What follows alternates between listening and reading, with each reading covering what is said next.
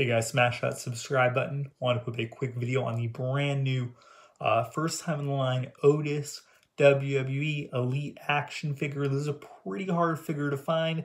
Uh, definitely had to hunt this one down, but uh, it is now here and I wanted to do a fast video of it. This is not an unboxing, just sort of simple check it out. Uh, I like putting up these videos because it sort of helps people uh, better see what the figure actually looks like uh, in real life, sort of versus when you go on a website to buy it and maybe it looks better, maybe it looks worse. So uh, without further ado, uh, this is in the box. Let's check it out. The brand new uh, Otis WWE Elite figure. Uh, they also have a Tucker one. I did not pick that one up. Uh, the Otis one definitely seems like one of the harder to find elites right now. I know a lot of websites are sold out of this, and, they're also sold out of the Fiend. but yeah, here it is. Lighting here is pretty bad.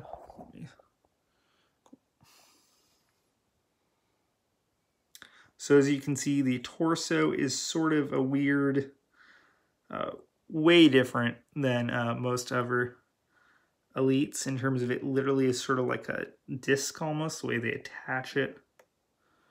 He comes with the uh, sort of a made-up title, the YOLO, You Only Live Once County uh, title. Uh,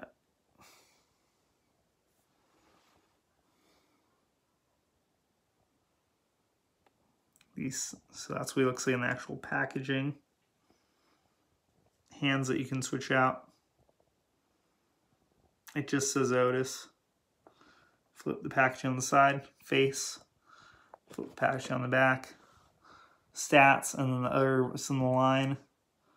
Others in the line include uh, John Cena, Braun Strowman, Otis Tucker, Lacey Evans, and uh, Christian uh, Christian and uh, Lacey Evans and Tucker. Uh, Braun, those all seem pretty common. The Braun seems super common. I actually have not seen the John Cena yet from this line. It sort of looks like the Thuganomics John, John Cena. I actually have not seen that one in person.